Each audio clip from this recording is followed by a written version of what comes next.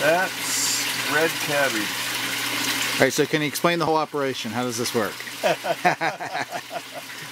The water is circulated from the sump into the fish tank and into the grow bed.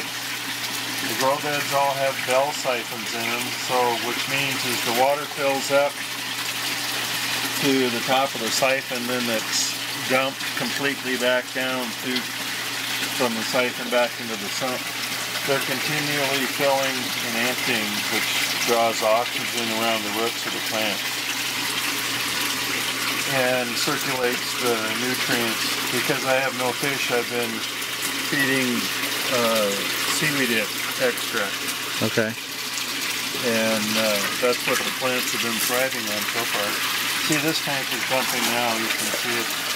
Which tank? This one right here? No, that's the, the little one. And and the fish oil will provide enough nutrient mm-hmm. for all of these? Yeah. Oh.